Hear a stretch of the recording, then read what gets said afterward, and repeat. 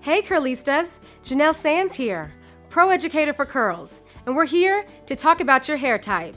Let's get started. Straight hair. Straight hair is also known as type 1 hair with no evidence of a curl pattern or hair texture.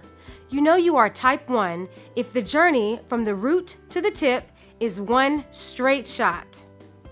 Wavy hair. Wavy hair is also known as type 2 hair and includes 2A, which is a loose wave, 2B, which is moderately wavy, and 2C, which is a strong, defined wave, all of which form a lengthy S pattern. It is helpful to use a light organic styler that doesn't weigh your hair down. Simply scrunch the product into your hair for the perfect lift for your waves, every time. Curly hair. Curly hair is known as type 3 hair. Type 3A has a stretched and loopy curl, and Type 3B has a rounded bodyful curl.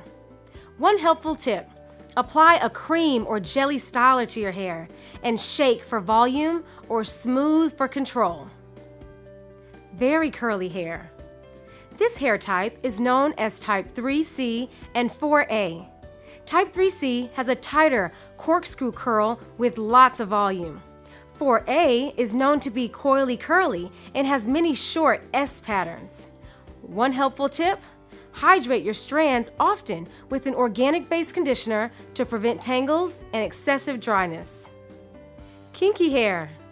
Your kinky hair is known as type 4B and type 4C.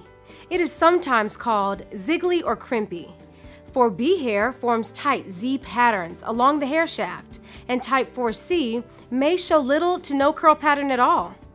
One helpful tip choose thick, cream based products to help hydrate and style your hair.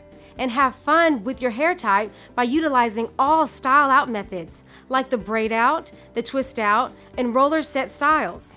Based on your hair type, you have options. So, no matter which hair type you are, Follow an organic based hair care regimen with Curls products to bring out the moisture, shine, and strength of your hair. Continue browsing our website at www.curls.biz and choose the products that match your needs. Subscribe to our newsletter to receive tips and promotions, and be sure to subscribe to our YouTube channel and connect with us on Facebook, Instagram, and Twitter.